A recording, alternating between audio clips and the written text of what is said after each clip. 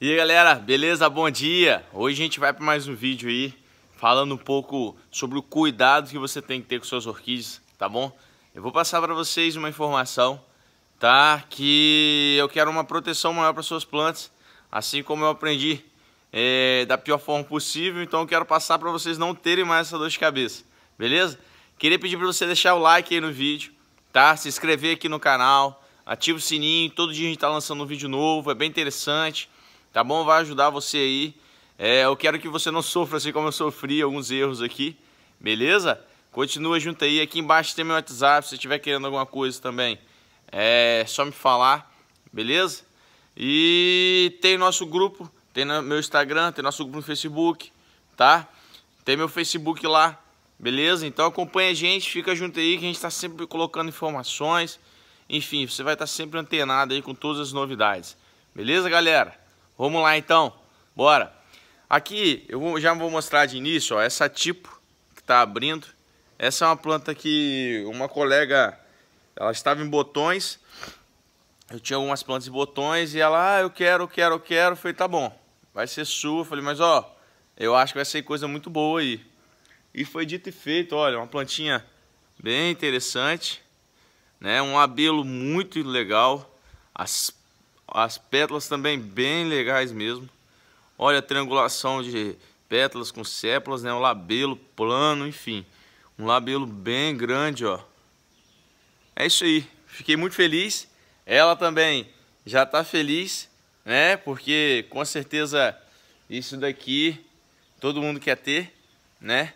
Mas pessoal, hoje eu vou falar sobre um cuidado que você tem que ter nas suas orquídeas para evitar um, proliferação de fungos e dois, proliferação de bactérias, tá bom?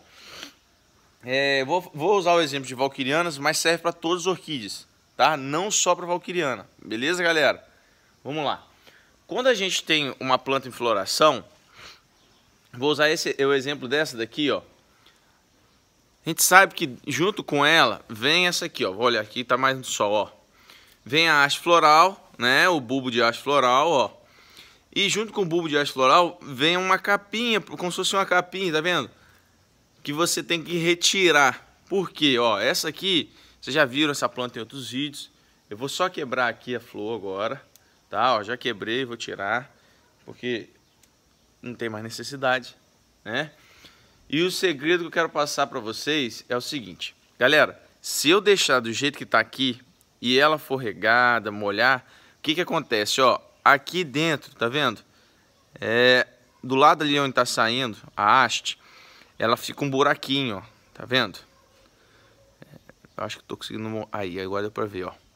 Fica um buraquinho. E aqui vai entrando água, entrando água, entrando água. E o que que ocorre? Começa a apodrecer. Aqui, ó, ela desce, vem vem apodrecendo aqui, vem apodrecendo, apodrecendo. Na hora que você vai ver, já tá aqui embaixo e daí já vai, você perdeu sua planta. Tá? Então se você tiver muita planta, então aí que é perigoso mesmo, porque você não olha ela, ou ela está num lugar no alto, é o que eu já falei, e você não tem um controle ideal sobre ela. Todo dia você tem que estar tá olhando suas plantas, galera. Então o que acontece? Léo, o que, que a gente tem que fazer? Você vai fazer o seguinte, ó. Toda vez você vai vir aqui, tá vendo? Vai arrancar essa capinha aqui, ó. Com cuidado, tá? Eu tô com uma mão só, então é um pouco mais difícil. Você vai pegar, vai arrancar essa capinha todinha tá? E ela vai ficar só no bulbo. Ou seja, isso vai garantir o que? A água vai bater e não vai ficar ali dentro, acumulada. Ela vai escorrer, assim como ocorre nos outros bulbos, entende? Então você vai ter uma facilidade de estar tá cultivando sua planta e não acontecer nada, nada de indesejado com ela, né? É isso que eu quero para vocês. Por quê? Quando eu comecei, às vezes já eu não sabia, né? Aí o que acontecia? Via floração, ah, que linda, acabou a floração, beleza. Daí duas semanas, quando eu ia olhar, nossa, o bulbo apodreceu, perdi o bulbo. E galera, isso é infalível. É muito difícil de você deixar e não apodrecer. Então assim, acompanha, tá? É, dá o cuidado que precisa, você não, não tem para onde correr. É uma coisa que você tem que fazer. Ó, vou mostrar para vocês, tá vendo? Eu já retirei aqui rapidinho no vídeo e ó, ficou desse jeito, tá?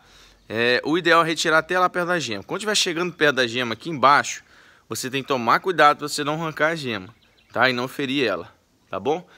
Para quem não sabe, Léo, eu não sei o que é uma gema. Você pode me mostrar? Tá, pera aí que eu tenho que achar uma aqui que tá fácil de mostrar para vocês. É...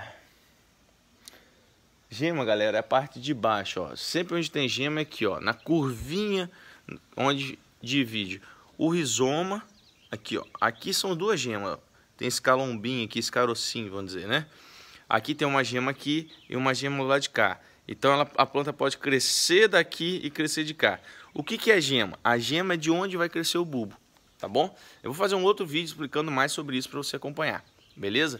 Então, pessoal, é isso, ó. Eu já falei, quando você for cortar a flor, corta com tiver verde, tudinho, você quer cortar, corta com a tesoura bem quente, sem estar vermelha, que ela vai acabar cicatrizando, vai ficar bem legal, tá? Léo, acabou minha floração, o que, que eu tenho que fazer? Retire isso aqui. Léo, não tem floração, tá só com vegetal. Vamos dar um exemplo igual essa planta aqui.